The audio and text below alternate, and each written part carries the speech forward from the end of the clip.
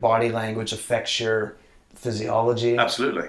Yeah. or, or your mental state. Yeah, so I would say um, what interests me most around how body language might affect drumming is you- you're often saying tension is the enemy. Hmm. Hmm. Yeah, and so we all have tension, and so and, and for me, there's no bad body language. There's just results that you wanted or didn't want.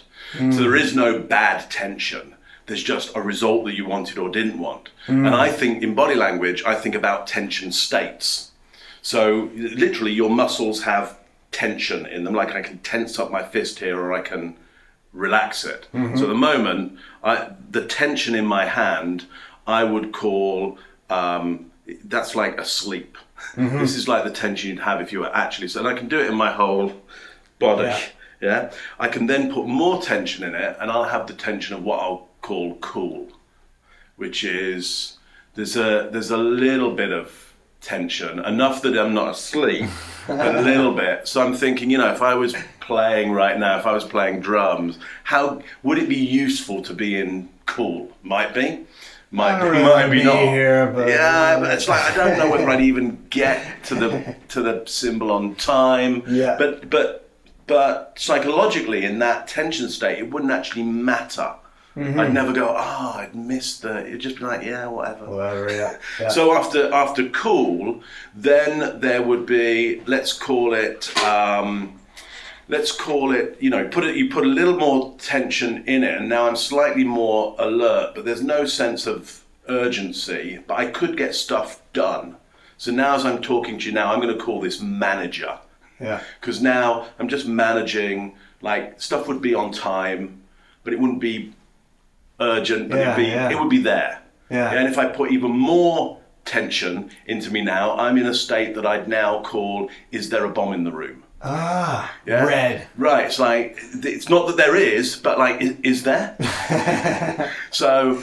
So would this tension be kind of? It's curious now. This tension is like curious. Yeah. It's curious. Now I'm going to go to a tension state which I would call there is a bomb in the room.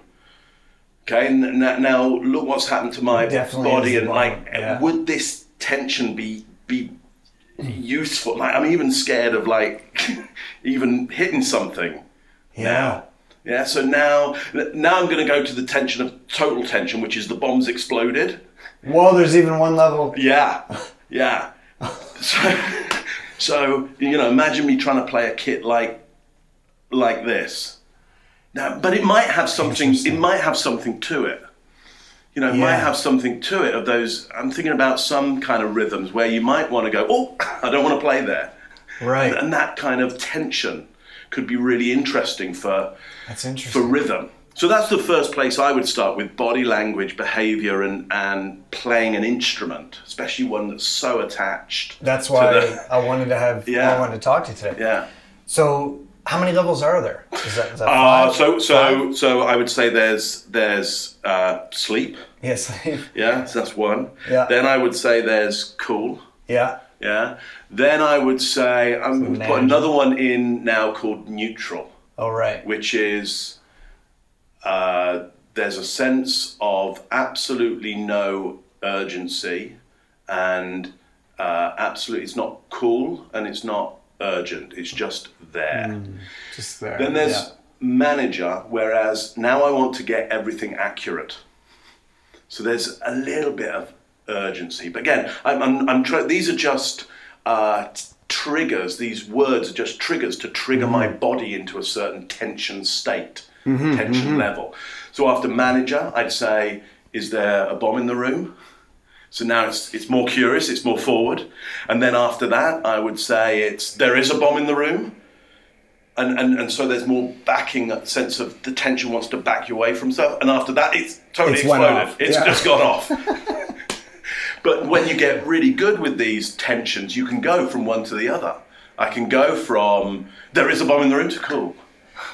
So you're talking about awareness. Yeah, it's awareness. So, Yeah. so sitting at a kit, I, I, what I would imagine is I'd be able to sit at a kit and go, hang on, where am I? Right. Hmm. The- oh, I'm- there's a little bit of sense of the bomb's gone off in my. Like, Yeah. Is that, and now is that good for me? And, and can I go to just, can I just be a manager right now? Maybe that's Hmm. useful. Or, or, or I want to be that curious Yeah. tension.